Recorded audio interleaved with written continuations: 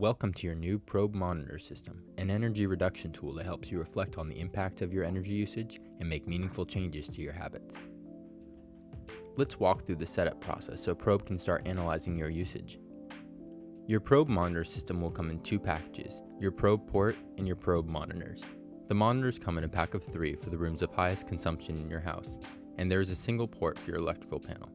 It is highly recommended that you have an electrician install your port which shouldn't take more than 30 minutes. After installation, use the QR code inside the monitors box to download the Probe app on your device so you can get your system up and running.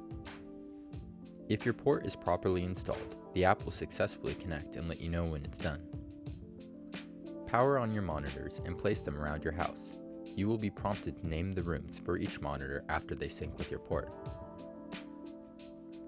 Once your monitors are connected, Allow the system time to connect with the Probe cloud and start detecting your usage.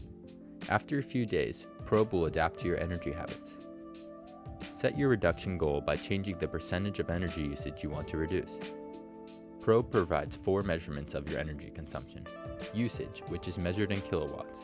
Impact, measured in pounds of CO2 per day. Costs, measured in money spent per day.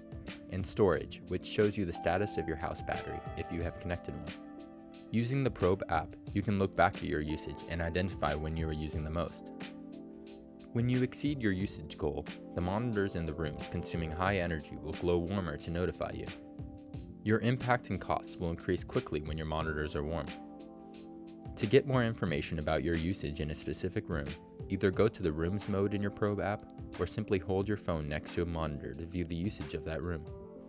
As you reduce your usage below your goal, the monitors will glow cooler again.